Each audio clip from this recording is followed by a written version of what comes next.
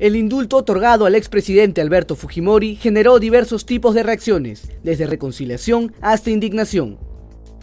Durante el proceso del pedido de vacancia al presidente Pedro Pablo Kuczynski, el cual no procedió gracias a los votos en abstención del bloque allegado a Kenji Fujimori, se habló de un posible negociado, cambiar vacancia por indulto, algo que el jefe de Estado negó. no hay ninguna negociación con nadie.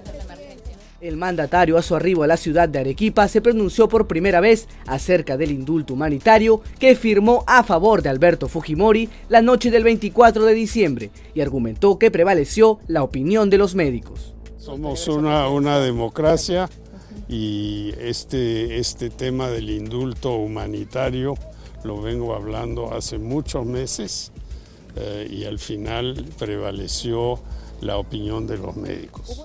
Como se recuerda, a inicios de enero, el expresidente Alberto Fujimori, bajo la firma de indulto del jefe de Estado, abandonó la clínica Centenario para reposar en su nueva vivienda de La Molina, lo que sigue generando rechazo en un sector del país e inclusive en el mismo bloque de Fuerza Popular, quienes rechazan un presunto negociado entre Kenji Fujimori y el presidente Kuczynski.